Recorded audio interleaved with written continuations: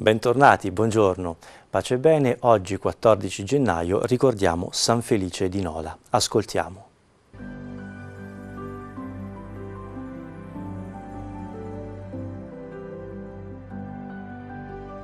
Felice nasce a Nola nel III secolo da una nobile famiglia e mentre il fratello scelse la carriera militare, lui si consacrò a Cristo come presbitero. Durante l'ultima persecuzione contro i cristiani, il vescovo di Nola abbandonò la città rifugiandosi in un deserto e lasciando Felice come suo successore.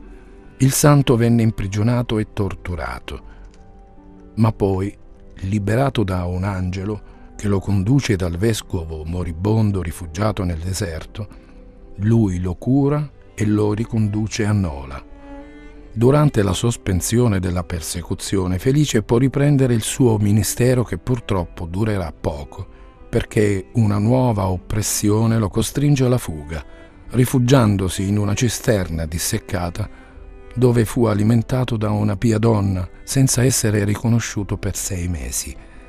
Con la pace di Costantino nel 313, Felice ritorna a Nola, dove rinuncia alla successione del vescovo Massimo.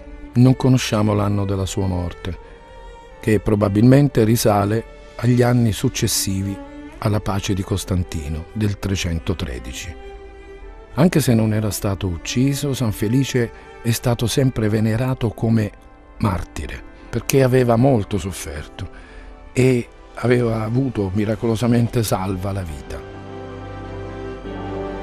Anche San Felice visse in un contesto molto complicato, il contesto delle persecuzioni ai cristiani. Cos'è una persecuzione? Una persecuzione è un periodo storico in cui i cristiani sono oggetto di violenza a causa della loro fede. Con il potere, con la forza, ma soprattutto la violenza, con l'omicidio si cerca di metterli a tacere.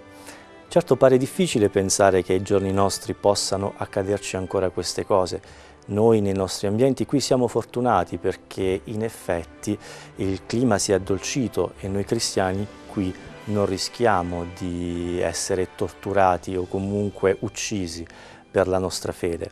Comunque riceviamo a volte una certa ostilità, ma non arriva alla violenza omicida e di questo dobbiamo ringraziare il Signore. Però se spostiamo il nostro sguardo un po' più in là, possiamo accorgerci, come ci ricorda molto spesso Papa Francesco, che la violenza contro i cristiani non è un qualcosa del passato, è un qualcosa di molto molto attuale.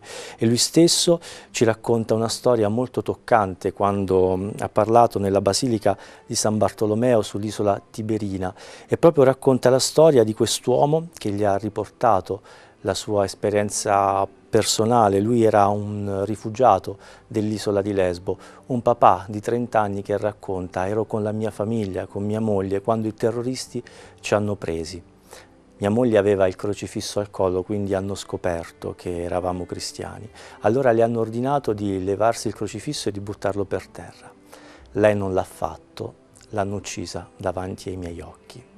Questi, questa, fratelli e sorelle, è una storia dell'attualità e sono tanti, tantissimi cristiani che vengono uccisi per la loro fede, perseguitati per la loro fede.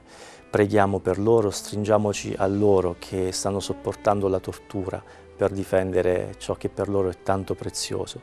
E per quanto riguarda noi, in un mondo in cui il credere è un po' scontato, che brutta figura, voglio usare questo termine, facciamo quando per esempio abbiamo paura di manifestare la nostra fede in questi contesti dove effettivamente non rischiamo la stessa cosa. E allora forse la nostra fede merita di essere rispettata di più anche da noi stessi. Per questo ci affidiamo al Santo di oggi e lo preghiamo. San Felice, prega per noi.